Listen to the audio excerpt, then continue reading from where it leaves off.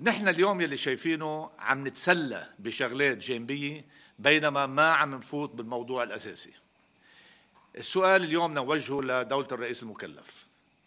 ما دام أنت بدك تعمل حكومة مستقلين لأن نحن منا شايفينها كيف تكون أنت غير مستقل والحكومة تكون مستقلة.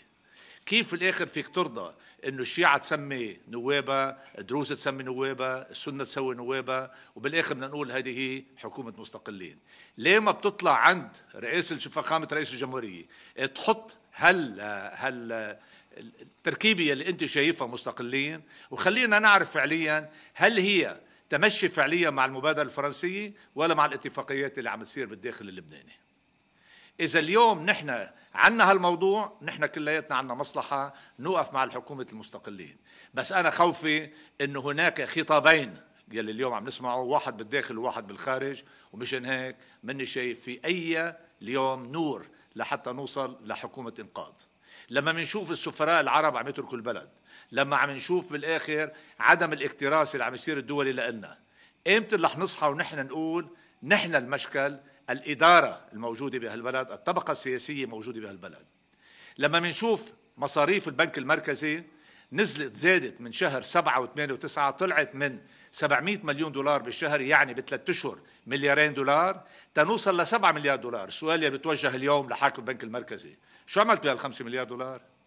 هل يا ترى بتصرف 5 مليار دولار تتمنع والآخر تتمشى مع هالطبقة يلي حاكمتك واللي بالآخر ماشي انت وياها تتمرق له مصرياتهم تدفع سندات لناس انت عاطيهم بالآخر شروط خاصة. ليه هالمصريات ما انساعدت تندفع لهالتلاميذ يلي بالآخر موجودين بالخارج؟ ليه هالمصريات ما ساعدناها تندفع للمستشفيات يلي عم تشتغل ب 40% فقط من طاقتها لأنه بالآخر الدولة ما عم تدفع؟ كفانا بقى لعب كفانا بالآخر ضحك على الشعب اللبناني. اصحوا حرام هالشعب هالشعب ما بيوصل. والسؤال الأخير للحكومه وعدتونا بأربع آب إنه عملية خمسة أيام وبيطلع التقرير. وين التقرير؟ وين الحقيقة؟ وين المسؤولين؟ بعدنا لهلا ناطرين بدنا نعمل لجنة بالآخر محاكمة الرؤساء والوزراء. تنعرف أكبر جريمة صارت بالبلد؟ يا عيب الشوم. شعبنا ما بيستاهل هالموضوع وبتمنى الشعب يكون صاحي وما بقى نمشي بالنعرات الطائفية لأنه بالآخر اللي شايفينها في عدم مصداقية في عدم شفافية. وبعدين السؤال لهاللجنة يلي بالآخر عم تطالب بعملية البحث الجنائي. ما شفنا أعضاء بمجلس النواب طلعوا علني وقالوا مشان شو بدنا بالآخر التحقيق الجنائي. اليوم لما بيجي وزير بيقول أنا بالآخر بدي زيد موضوع التمشي مع القوانين المرعيه وبتطلع وزيرة العدل بتقول إنه نحن ما في مانع إنه البنك المركزي إنه يحط المعلومات المطلوبة للتحقيق الجنائي. بعدنا لهلأ عم نقول مين المسؤول عن الوضع الاقتصادي اللي وصلنا فيه؟